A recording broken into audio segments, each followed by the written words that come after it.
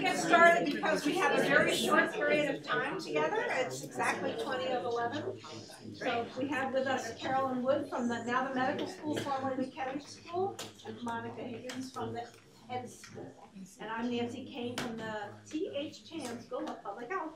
Um, and we're all uh, educators. Uh, we're all very much supporting the, the educational mission of our respective schools, sometimes against the grain, sometimes more with the grain.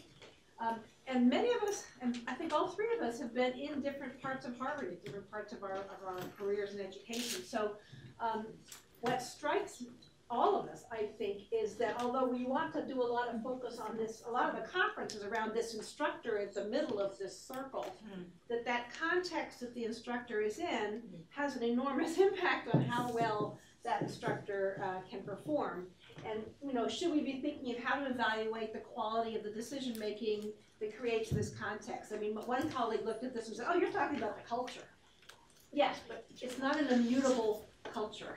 And what are some of the decisions that, you know, or the ways decisions are made that affect that culture, that create that culture? So that's what we wanted to have this group be talking about. And even figuring out how to ask about it was really quite a long process. We really appreciate the input of the HILT people and uh, we've all been going circles, circles around it.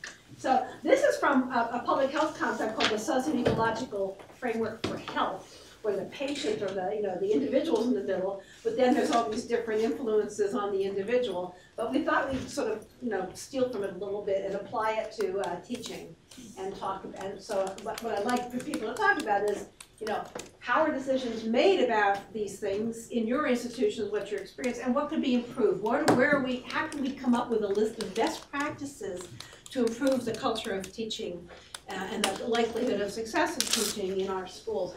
I'm just, I'm gonna go very quickly, I mean, uh, in our school, we have a set of students whose expectations are that uh, attendance is optional and that uh, they should be told what to think because they went to frankly medical schools, many of them, and no offense, but that's where a lot of them got their habits. So that's, just that alone has been a real challenge for those of us who believe in more interactive and engaging and, you know, presence of mind and body. Um, in terms of how programs are structured, you can have a program that is actually not built so that courses build on each other or that people are overlapping, or that they're well coordinated and so the students get the maximum benefit out of whatever that you're doing as an instructor. So things about how those educational programs are designed and coordinated is another, you know, one of the many things that can affect the quality of what's going on in the classroom. A school-wide policy, we've all talked about, you know, promotion criteria, although that may not, in our school, we find most of our senior faculty are teaching and, and some of that teaching is highly variable.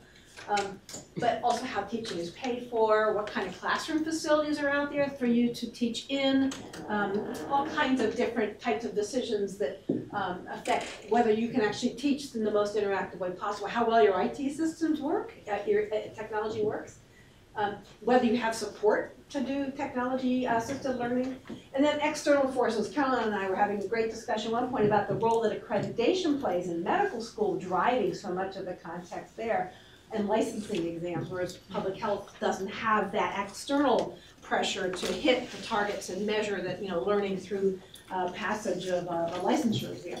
So this is the topics we wanted to talk about. Maybe Karen, you want to make a couple remarks and Monica too about what you observed, and then we'd like to let you loose talking about the question that you're sitting at the table of, um, and maybe why don't we get your comments and then we'll make sure we understand the question. Sure. Um, so from my perspective, when Nancy proposed this idea, I found it really engaging. Um, the, uh, I have spent more than a decade at the Kennedy School working to build the teaching and learning uh, unit over there, the SLATE program and the CASE program. And I think the Kennedy School invested incredibly heavily in supporting faculty to teach in a broad array of ways. Um, it's a very heterogeneous curriculum.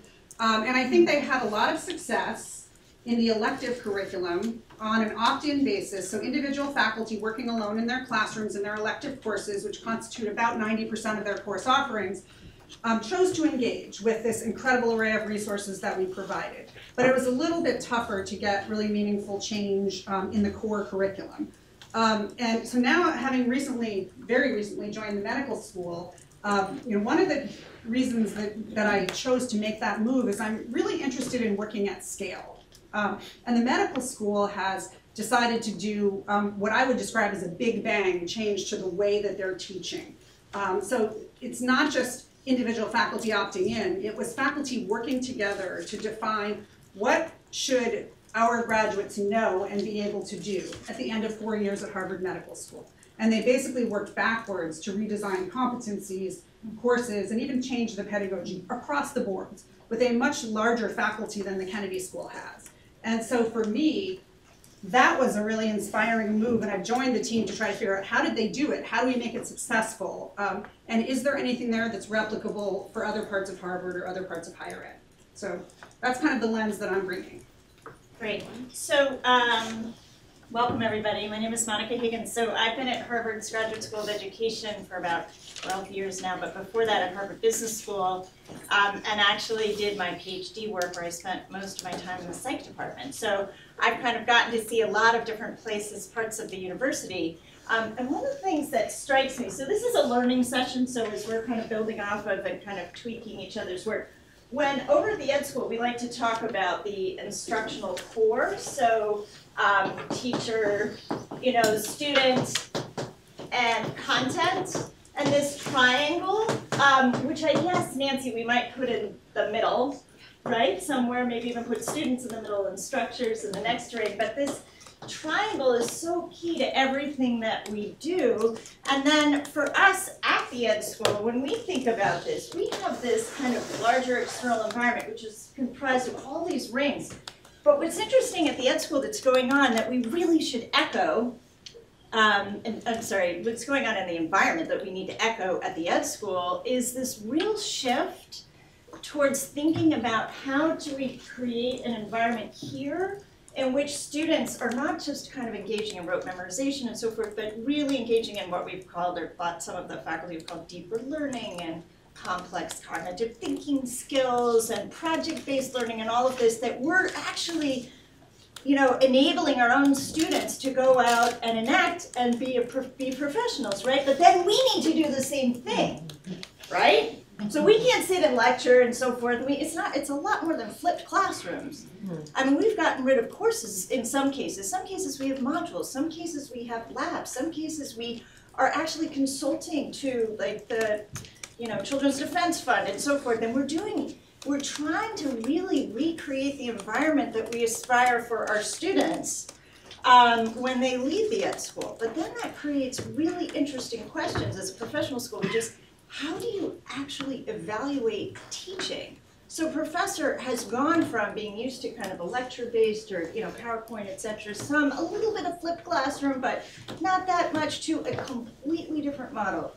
Um, how do we evaluate that? How do we teach, you know, how do we teach our faculty how to change in that way? Um, how do we select faculty? That's our biggest issue right now. Like we look at their course evals, but that's nothing has nothing to do with what we want them to do once we get to the ed school. So I guess what I'm saying is like we think about this as kind of a mirror, you know, what's going on in K-12 and how do we create that and inspire our faculty to follow the model that they hope their students will actually go out um, and enact once they leave. So that's why I'm interested in the topic. And you have three specific questions. Yes, so, um, so at this point, we wanted to really use our time together to just foster a conversation among you all um, about um, some of the deeper dive questions that were in the session overview. So you have on your table um, a document that lists the three questions, um, and you have a question number on your table. Um, so we're gonna ask each table to discuss as a group one of these three questions, and we're gonna have about 20 minutes to do that. We're gonna ask each table to identify one person to kind of share and report out the conversation that you have had about your question. So we'll have multiple groups working on the same question. So we'll, when we do the report out, we'll be able to get some dialogue or interplay between the various groups working on the same question. Um, and then at the very end, uh, we're just gonna pull out a few themes. And I wanna just give you a heads up at the, the, just to close out the session, you each have an index card on your table. Um, and we're gonna ask you to write down on the index card one thing you learned at today's session and one question that you still have. And we're gonna collect those, type them up, and then email out to you the kind of collective work of our group today so that you can kind of use that as fodder for further conversations. And we're also gonna share it with HILT to inform their future work.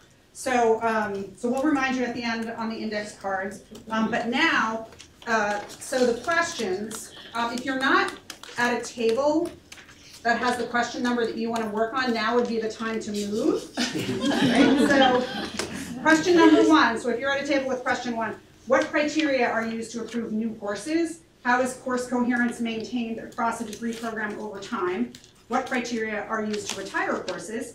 How might the decision-making process affecting, uh, processes affect what courses offered and how they can be improved? One That's- question. That's just one. That's question one, right? Right. Question two is how is the value of teaching excellence introduced to new faculty? How is it reinforced throughout the faculty member's career, including after tenure? And how might that process be improved? And then question three, what carrots and sticks and pressure points are used to encourage excellent teaching in our research university setting? How can they be more effective? What are the challenges to implementing more effective measures? Nancy and I worked some of these questions in advance, and some of them are actually very difficult, so we're dying to see what you guys come up with from your own settings. So with that, um, make sure that you're at a table that's working on the question you're interested in, and why don't you begin your conversations after you establish a rep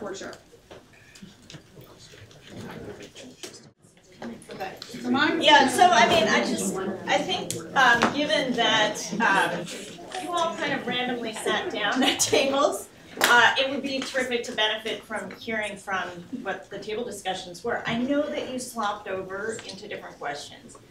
That's fine.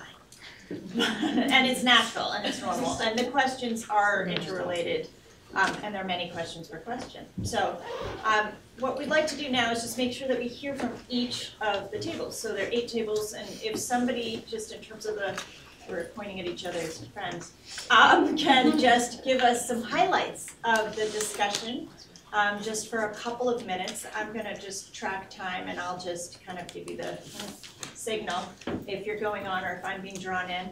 Um, you can do that to me. So, um, let's start with this table. So you all have the first question, just I was trying to like bump into Oh, you're a bumping mega into it. question. You're bumping into your. Just oh, so yeah, you know, yeah. they were recording it. Oh, you're bumping it away. We need to gather your thoughts. Um, Keith, does your table want to get started and we'll come back then? Oh, All right, I'll take one for the team. all right. So we were. Just a couple of minutes. Okay, Okay, great. uh, we were the team, one of the groups that slumped into different questions, uh, but I, I, I think that the challenge is that we were highlighting the fact that, um, we all had different structures, different constituents, um, different processes, protocols, um, and, and students that we were trying to serve, or different organizations and regulatory boards. And so, for answering the question, uh, it, it all looked very different for each of us. We need to uh, contextualize who we were uh, and what some of our motivations and guidelines were. Um, also the fact that um, we also had a different set of core courses versus electives. We also had uh, a different way in which we, we vetted those or different groups that, that helped to, to support those. Um, and I love the fact that um, we also kind of threw in the wild, wild west uh, in, in terms of sometimes it was very organic and, and sometimes it was far more structured in that process. Um, What was the it, I'm sorry? So the uh, the approval of new courses and what that looked like and who taught those and for how long. Um, and one thing that we kind of touched on, people please jump in, um, if I'm misspeaking, but uh, some of the information that informed our decisions about new course offerings or different curriculum changes, um, may be different uh, policies, different, um, what we're hearing from marketing, uh, different employment demands, uh, um, student surveys, and also uh, what lights up the instructors and the faculty, and how to keep all of these different data sets kind of in check uh, moving forward. Great. Um, I'm gonna add one thing since I, I hung out with you guys a little bit. One of the really interesting, I thought, kind of back and forth was about, um, asking employers what they think. But then it came up at the table, you know, what do they think the students need to be able to know and be and do and so forth, and then kind of trying to map that back. And then the interesting question that they talked about was, well, is that even a good question? I mean, do the employers know? I mean, maybe we should be ahead of the game and trying to change that sector, and so that creates, that was really interesting. Okay, so back to you guys. Yes, so similarly, just trying to understand each other's contexts. Um, and what we found is the main thing that came out, I think, was around faculty autonomy. So how uh, decisions got made about um, curriculum design and whatnot may, may or may not have been within particular departments or within faculty, but ultimately, whether a course got offered or not was based on what the faculty wanted to offer and how much it would or wouldn't take away from their own research time. Um, but that was also, depends on the graduate level or undergraduate, so we also talked about, um, what it means, uh, for FAS and how departments have to navigate that, um, within and, um, how sometimes those things are tracked by a staff person within the office, within the department who says, hey, we need some to Ah. teach over here. Uh-huh. Um, would you like to add? Well, you also mentioned how your, one of your takeaways was the lack of transparency. Mhm. That if you are, if you're, maybe if you're not a, in the tenure line, you Yeah. may not be, really even understand the processes that are happening in order Ah. to design your, cur- or to build the curriculum. Yeah. We also distinguish between, the difference between a, a single course and a whole curriculum, and how those structures might be different even within a mhm. single school. Absolutely. I don't even know, transparency is part of it too. It, it- sometimes it's just information not getting to the people who were Exactly. enacting the programs. Right.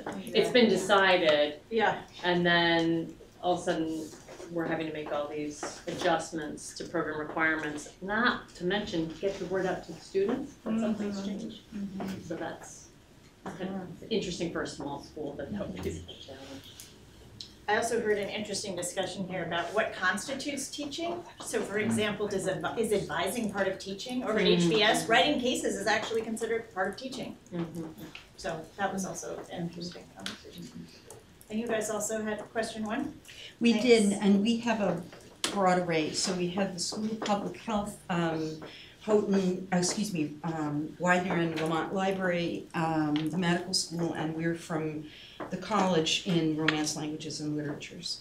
And so the question of, it's, what I took from what you said is that people offer the courses they want more or less. Sometimes there's been a proliferation of them and they need to be cut back a little bit because there may be too many. Um, and the decision, there are different bodies in the different, except um, apparently, well, uh, and the library might have a body, but you didn't mention it. Um, different bodies within schools that determine what's okay. Mm-hmm. In our particular department, once a course is approved by a committee, I can't remember whose name is, the educational something committee, they have to say, no, this, it's not even a course, it's a line of study. But once they've approved what makes a French major, then the freedom within, is within the department to say what levels are. And we do have a, try to have a balance of courses for undergrads and grads where there's a progression. But that isn't to say that there aren't kinks. Um, and one of the questions that interest me, which someone else had brought up, is how you address a course whose faculty member, it's a core course that repeats but isn't drawing very well. Um, because it's very delicate to talk to a, a tenured, right. Absolutely. Yeah. Yeah. And I think the faculty who were tenured feel that it's a delicate discussion. So that's a tough one, I think. Yeah, around evaluation when there isn't generally evaluation, right? Yeah. Okay, thank you. Um, okay, so that was question one, which are kind of what are the different processes and systems in place for bringing a course on board or retiring a course and so forth. Question two, um, was just about how the value of teaching excellence is actually even introduced to faculty. Um, how is it reinforced?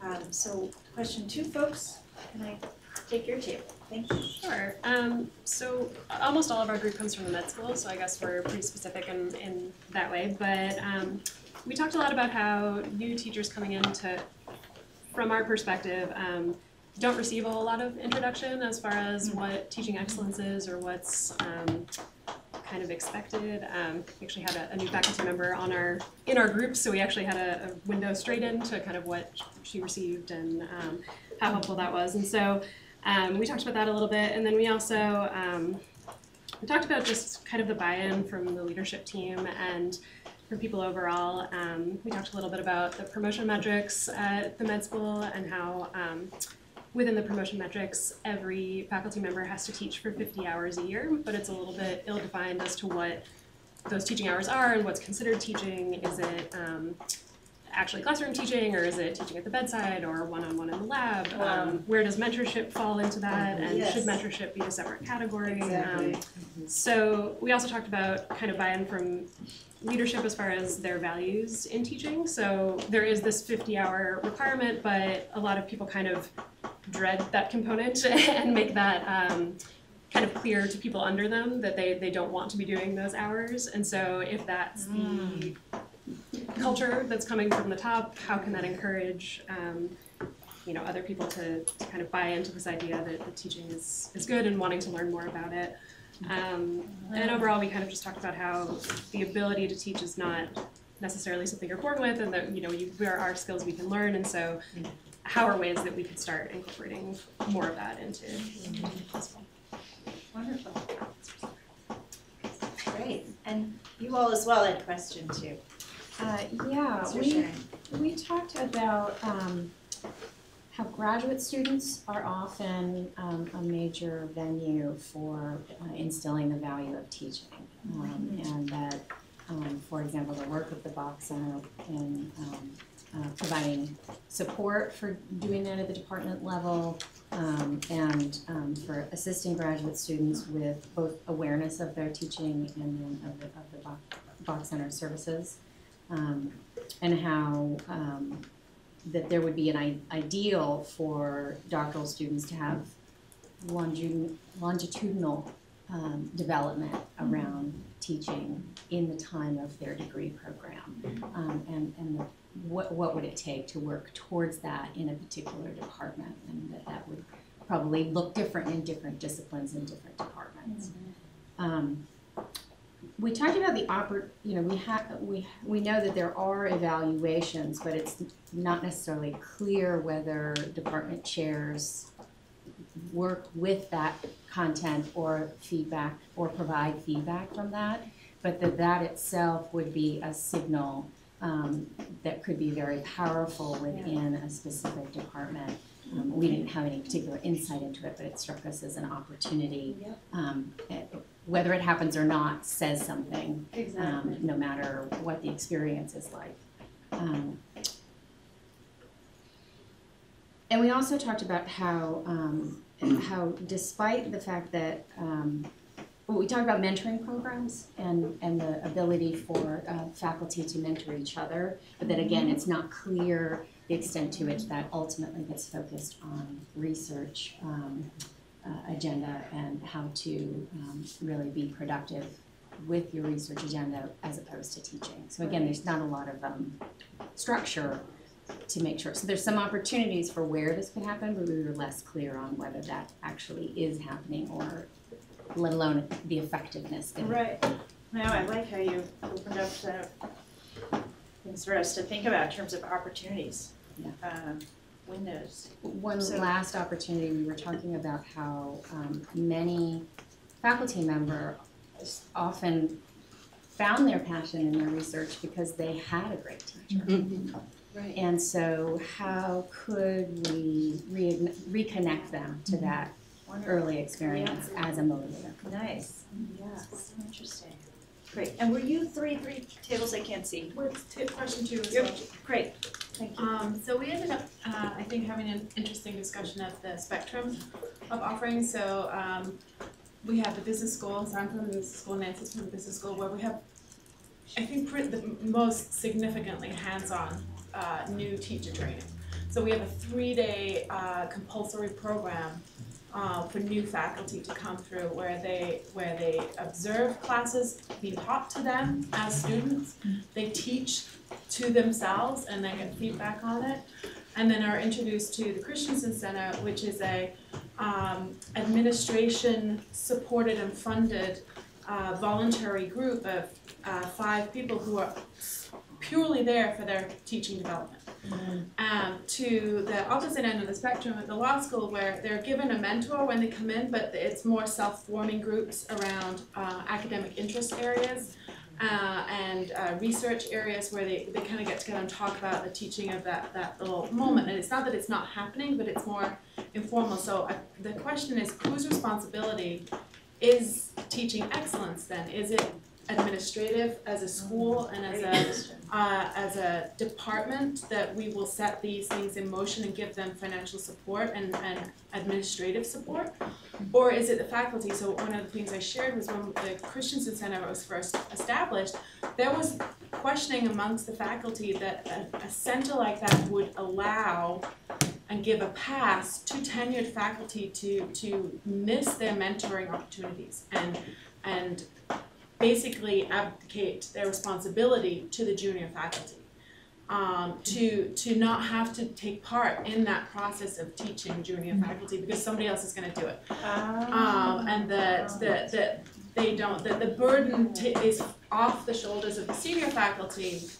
Um, but that their voices are just as important. So as a center, we we we learned early to make those voices come into the to the work of the center and how do we keep that? But that is then our administrative department's burden of, of maintaining that ecosystem. Right. Um, so it becomes its own its own its own beast.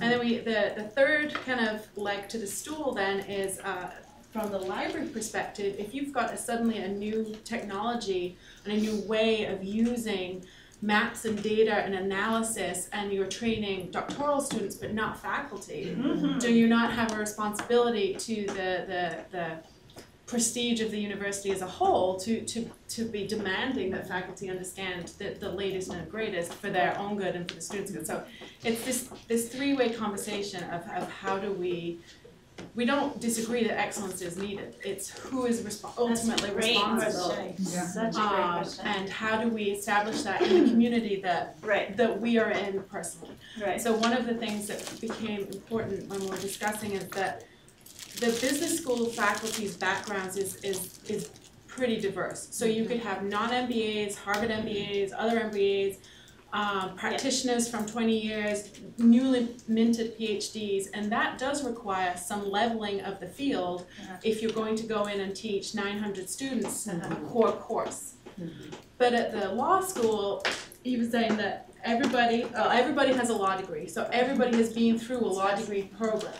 And to the point where it's either Harvard or Yale as a law degree.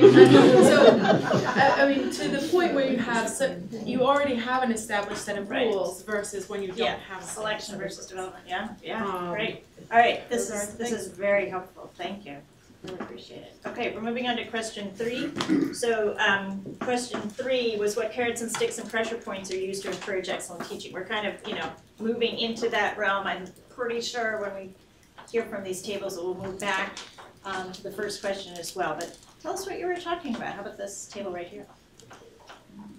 Um, so we, we also touched on like the diversity in, in the approaches and of carrots and sticks and pressure points across different, um, parts of Harvard. So, um, the difference of like needing at the medical school, like some real carrots and sticks for, for why teaching is important there when, when it's not as much of a focus, um, in the, in their practice. Whereas at the ed school where people are teaching about teaching and so th- therefore may want to try new things in their classroom or be exposed to what is the latest sort of um, technologies or approaches or, or practices in the classroom.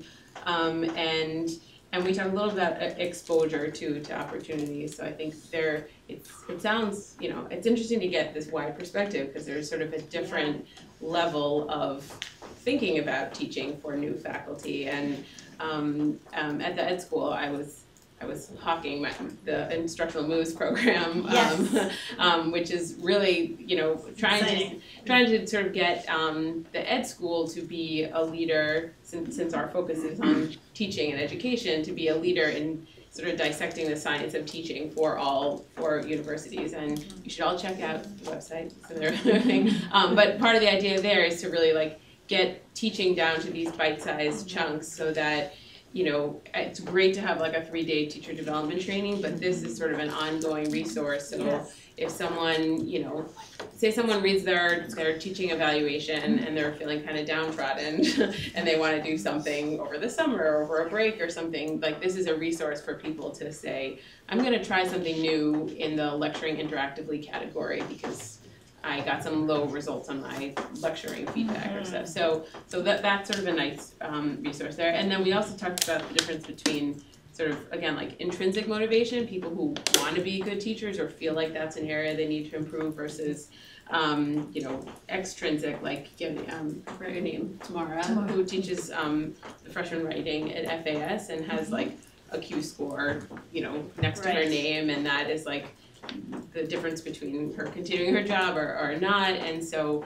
um and one of the things that came up at the end of our discussion was the idea of these less monumentous um end of course evaluations and more of things like this, you know, like this constant feedback, and I know at the ed school I work on a lot of the online course development and we have weekly course evaluations for the online courses, mostly because we don't have as much, well, we don't have any face-to-face interaction with the students, and so having a weekly evaluation where we're just taking the pulse of Yeah. the classes, or they're saying, I found, I found this particular reading offensive, I found that lecture not helpful, and it, and it's less of what mm-hmm. Tamara was saying, this sort of how they're feeling in the moment when they're writing the full course evaluation versus right. this Right, dialogue about great, teaching evaluation Great. during the course. great.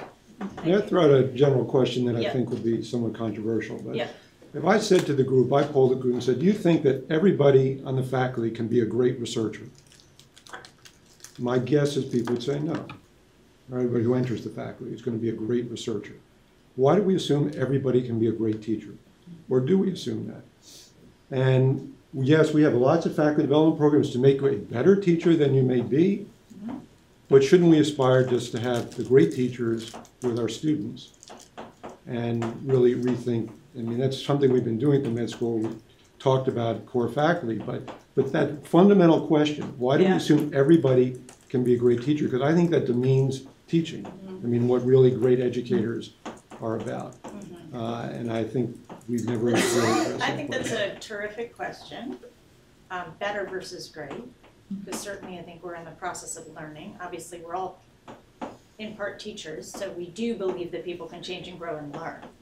And then it kind of depends in part on what your threshold is for great, which might vary depending on Also, the medical school has three tracks, Yeah, nobody else does. Well, so Well, that, that gets to the carrots well, and sticks kind of yeah, thing too, I right? think So was- what we are saying, we are prioritizing one over the other, because you can't be here as a researcher without being yeah. great, you know, Yeah. again, how you define great, I don't know, but, you Yeah. know, by their peers and so Well, forth. every, and every school does have different criteria, right? Promotion criteria, which I heard some tables talk about. In fact, Judy, you, you were talking also about the importance of measurement and understanding for what audiences and that oftentimes our measurement doesn't necessarily serve the purposes that we need it to serve, so. um, I wanna hear from this last table, and then if we wanna come back also to this question, we can, we can do it in the time remaining. Yes, well, I, I think we have seven minutes, so take a couple for your table, and Um, then we'll bring it back. Sure, yeah, we talked for a while, and what we sort of realized after talking for a bit was that in a lot of ways, the incentives that we saw are actually the exact opposite of what you would want. Yeah. In that, you know, for the most part, um, you know, you're not going to get promotion uh, based on your teaching. You can only maybe not get promoted if you have truly business Uh-huh. teaching.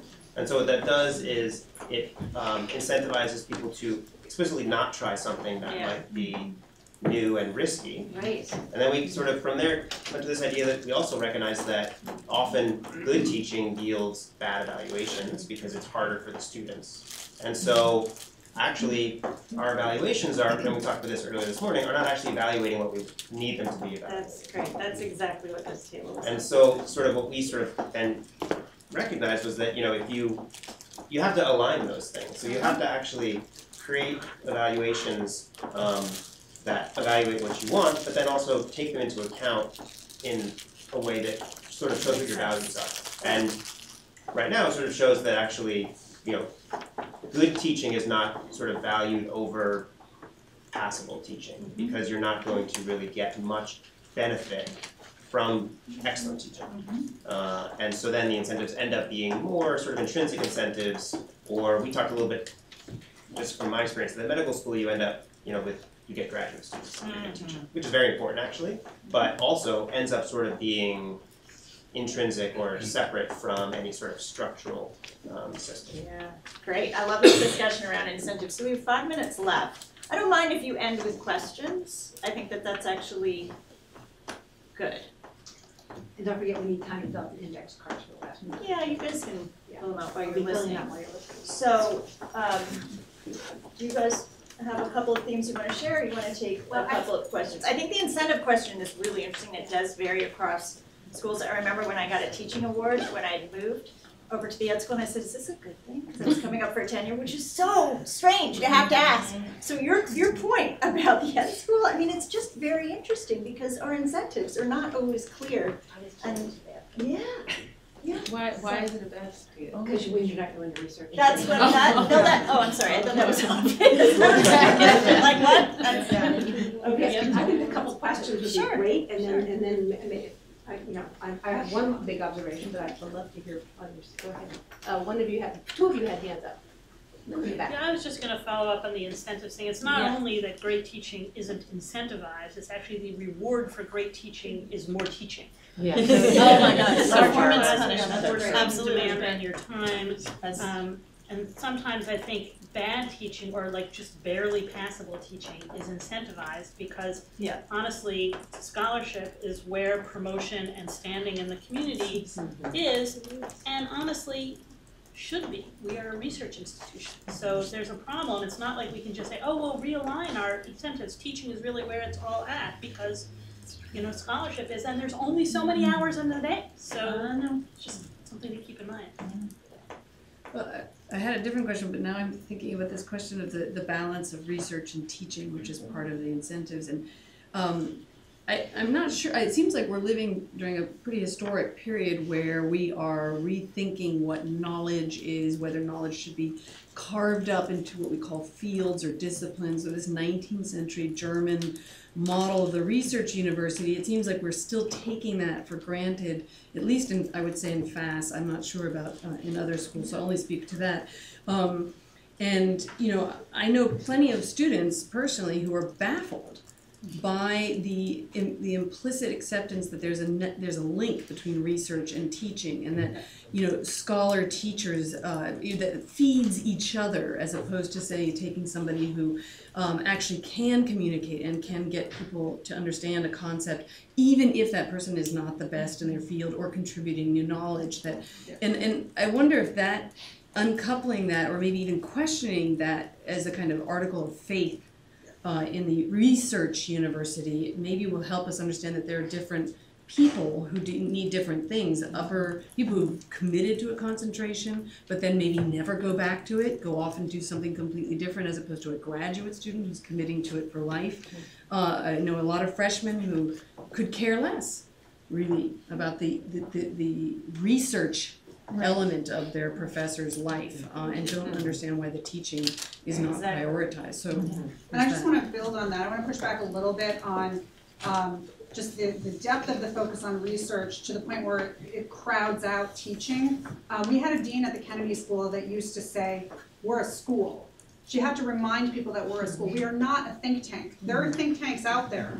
Harvard University is not one of them, and so if we're going to accept students, we actually do have an obligation to do a good job in building their skills and their progress towards mastery.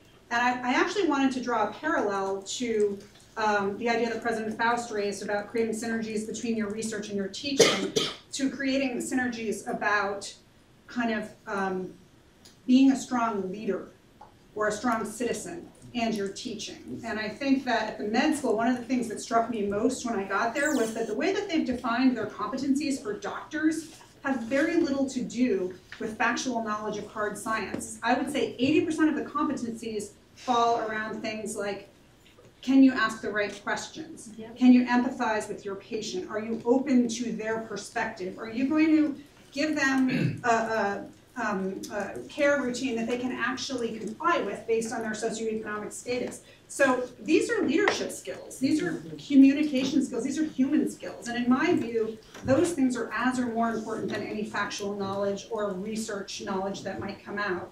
Um, so I, I would just pose another alternative. I think we are out of time. I just took my last observation. I teach strategy, organizational strategy. And the one thing that, you know, always strikes me in these conversations is how rarely one says we have educational goals that we want to reach and we have a process for making sure that we reach them. Um, and so much of education is indeed this sort of organic entrepreneurial individual faculty interest, but does that measure up, does that sum up to where we want, what we want our students to learn? And the environment of medical school is far more required to go that way because of the external demand. but in these softer fields where there aren't these external demand, demands, it's not clear to me that the educational goal setting process is one that is linked to the rest of what happens in terms of what gets offered, how programs are designed, what courses. So our, my school really doesn't have a strategic planning process for education, but I, I think, I don't know about other schools, but I think that's one of the missing links for making all of this sort of gel and give people reason for why they teach what they teach that may or may not be related to their research. But this was a fantastic conversation, um, great to hear from so many different perspectives.